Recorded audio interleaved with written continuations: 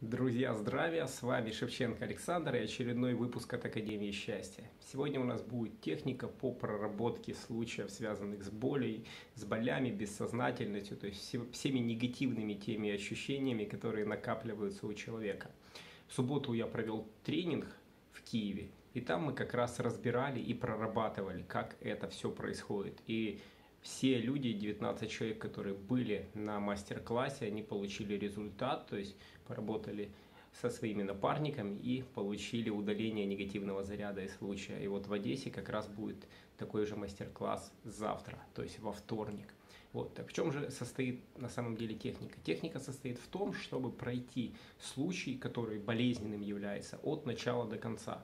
Ее можно выполнять как самостоятельно, так и вдвоем с напарником. С напарником почему лучше? Потому что один человек закрывает глаза, а второй задает ему вопросы. То есть, соответственно, человеку не нужно отвлекаться на то, чтобы там что-то дальше, ну, как бы еще себе задавать вопрос, записывать ответы и так далее. Но если вы хорошо владеете своим вниманием, то можно делать и одному. По крайней мере, попробуйте.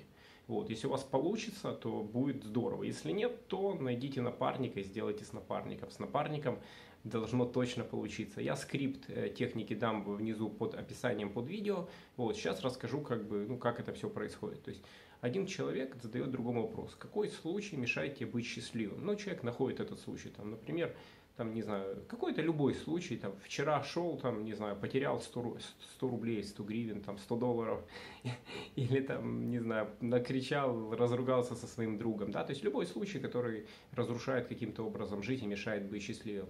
Потом э, следующий вопрос, когда это было, да, то есть определить примерно время. Потом следующая команда, двигайся в этот случай, то есть переместить свое внимание туда. Вот. Далее, конечно же, какова продолжительность, то есть определить, сколько это примерно длилось. Потом двигайся в начало случая, то есть переместиться в начало. В этот момент человек закрывает глаза или дать ему нужно команду «закрой глаза» вот, и задать вопрос, что ты видишь. Вот. Если человек описывает кратко, что он видит вот, в начале случая, потом дать команду, двигайся через этот случай до его конца и описывая все, что ты видишь, чувствуешь, какие мысли, ощущения, эмоции появляются. То есть быть максимально открытым и все рассказывать.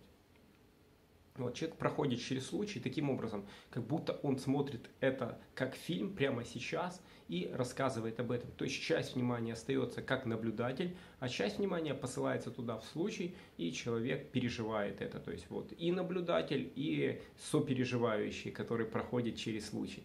Когда человек прошел, прочувствовал, рассказал все это другому человеку, человек говорит, спасибо, благодарю. Ну, то есть вообще подтверждение нужно давать каждый раз, когда человек выполнил команду. Вот любую, и это очень важно в общении. Вот.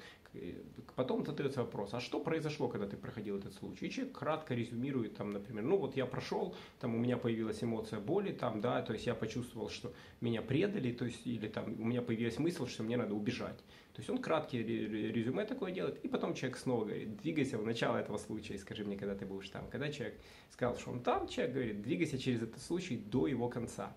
Вот. И так мы проходим этот случай столько раз, сколько необходимо. Какой конечный результат всего этого? Конечный результат – это, во-первых, поднятие человека по эмоциям. То есть, если он сначала был, к примеру, там, в страхе, то потом он поднимается через гнев, антагонизм, потом через скуку, консерватизм и попадает в части энтузиазм. Вот когда человек может рассказать этот случай, может так сказать, с усмешкой, да, то есть в энтузиазме, то это как раз хороший момент, чтобы закончить на это, то есть сказать спасибо, благодарю, это конец сессии. То есть почему? Потому что когда человек поднялся по эмоциональной шкале тонов, это означает, что у него пропал эмоциональный заряд, связанный с этим случаем.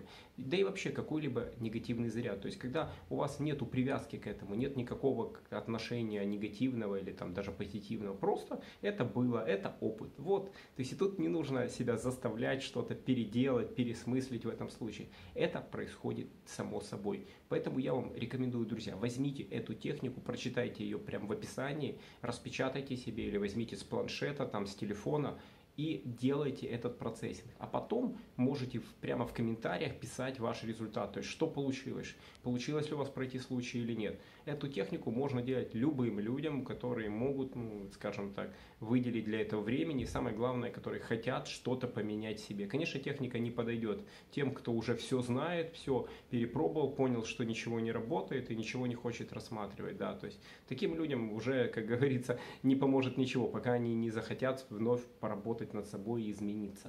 Вот. Самое главное, что вы меняете не себя, вы меняете то отношение, которое у вас есть к случаю.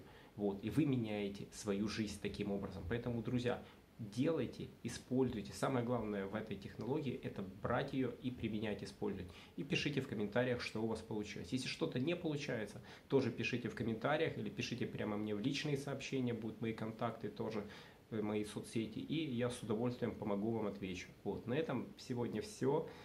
Также будет у меня в среду прямой эфир, где я расскажу более подробнее о процессинге на моем канале YouTube. Так что ставьте колокольчик, палец вверх, подписывайтесь на канал и до скорой встречи!